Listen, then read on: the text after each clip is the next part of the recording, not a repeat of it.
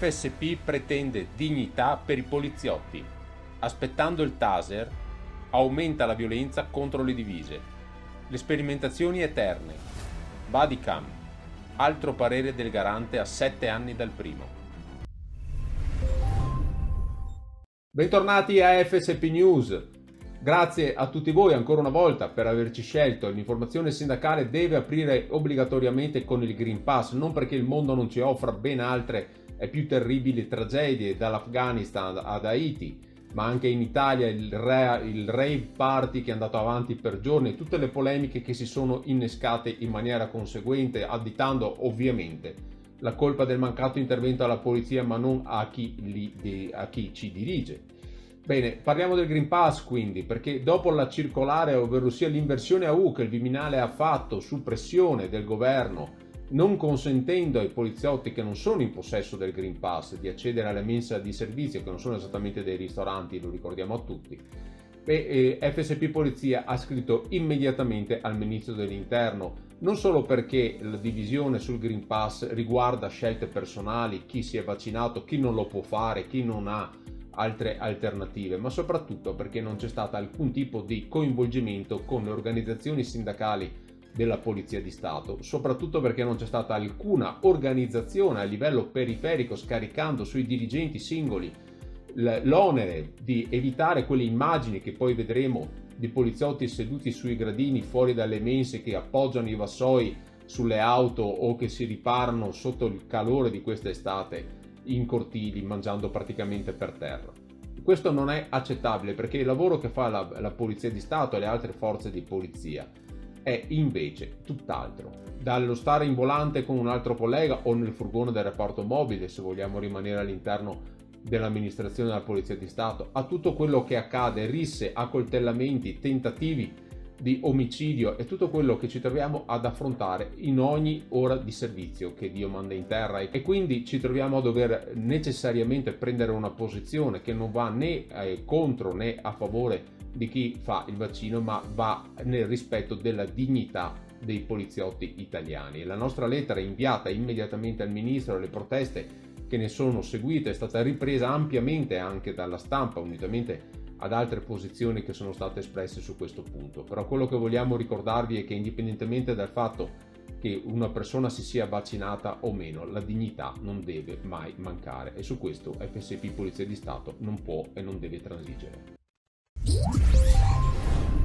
Sono numerose le iniziative che diverse segreterie provinciali della FSP hanno messo in campo dinanzi alle scene dei poliziotti costretti a mangiare all'aperto, in un intervento anche tra gli altri del sottosegretario all'interno dell'onorevole Nicola Molteni, già ospite anche del nostro convegno e del congresso nazionale dell'FSP Polizia, che ha ricordato come è un controsenso costringere i poliziotti a mangiare fuori dalle mense, ma poi fargli fare servizio contemporaneamente in volante Green Pass o meno o che come dicevamo all'interno dei furgoni dei reparti mobili. Un controsenso che deve essere al più presto ripianato per restituire una logica e una programmazione che consenta ai poliziotti di fruire della mensa obbligatoria di servizio, ma soprattutto di mantenere intatta la propria dignità.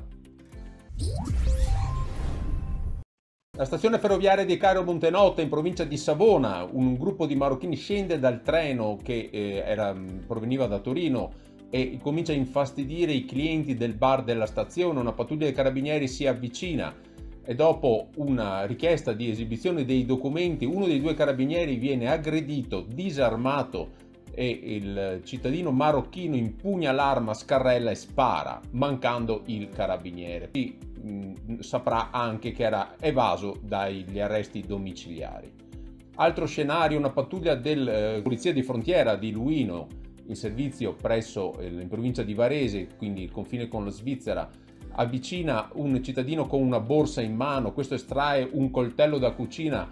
e eh, aggredisce uno dei due componenti della pattuglia, una ragazza che viene scaraventata a terra, poi rivolge il coltello verso l'altro collega che estrae la pistola d'ordinanza e spara un colpo ferendolo all'addome eh, si accettano scommesse su quale delle due notizie sentirete nei prossimi giorni perché eh, ovviamente un poliziotto che spara fa molta più notizia come termine insegna di un poliziotto che viene aggredito a coltellate, come è accaduto a Genova e come è successo purtroppo in quest'estate, di risse e di continue liti violentissime tra ragazzi italiani e non.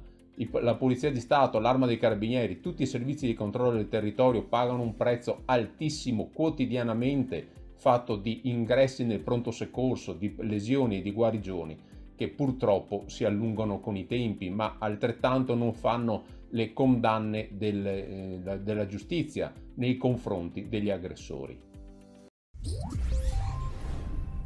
Il garante per la protezione dei dati personali si è espresso favorevolmente all'utilizzo delle microcamere o bodycam sulle divise degli operatori impiegati nelle operazioni di ordine e sicurezza pubblica. Non state guardando un TG del 2014 perché questo era il primo parere che era stato richiesto, ma è l'esito di una nota inviata dal garante al Ministero dell'Interno il 22 luglio del 2021 di cui si è avuta notizia nella scorsa settimana, una battaglia che FSP Polizia ha portato avanti da tempo ma vediamo quali sono i paletti nuovi che sono stati messi perché è cambiata ovviamente l'architettura, l'evoluzione tecnologica delle telecamere stesse e quindi non oltre sei mesi può essere mantenuta la copia. Le copie delle, potranno essere quindi eh, utilizzate solo a livello centrale con collegamenti da remoto attraverso i gabinetti di polizia scientifica ed alcune altre postazioni ma soprattutto l'ordine di attivare la telecamera dovrà essere dato dall'ufficiale di pubblica sicurezza presente sul posto o estrema razio dal capo squadra e altrettanto dovrà essere fatto con lo spegnimento della telecamera che dovrà essere sempre ordinato dall'ufficiale di pubblica sicurezza o dal capo squadra cose che eh, cozzano abbastanza con la realtà operativa con cui ci troviamo ad operare quotidianamente. Comunque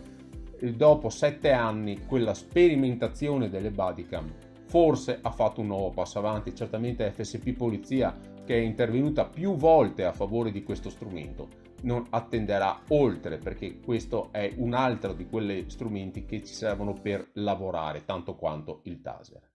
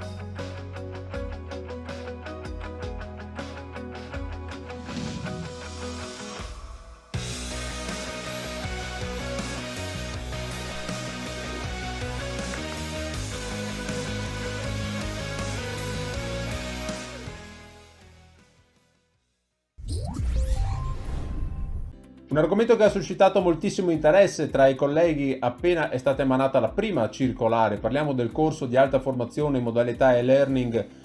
lo spazio transmediterraneo, il mondo islamico, l'integrazione negli spazi pubblici. Molto interesse e una specifica che il Dipartimento ha fatto mantenendo la data possibile per l'iscrizione online appunto al corso al 31 agosto è stato specificato che potranno accedervi coloro che sono in possesso di una laurea triennale e quindi eh, un primo ciclo di studi universitari. Il testo completo della circolare sul nostro sito internet. Diamo volentieri spazio all'iniziativa della Polizia di Stato, il calendario per l'anno 2022 che è stato realizzato con gli scatti effettuati da colleghi, quindi un punto di vista diverso rispetto a quello a cui siamo abituati, un punto di vista dall'interno dell'attività della Polizia di Stato. Anche quest'anno si rinnova la partnership con l'UNICEF e i ricavati del calendario, il cui costo è 8 euro per la versione a parete e 6 euro per la versione da tavolo, sono ehm, devoluti all'UNICEF eh, Italia che finanzia il progetto COVAX per l'accesso per i bambini poveri alle vaccinazioni e una parte per il piano Marco Valerio, indispensabile per moltissimi colleghi che si trovano in situazioni di figli con handicap gravi. Quindi un'iniziativa pregevole, il calendario è prenotabile presso gli URP della Questura una volta effettuato il versamento fino al 23 settembre.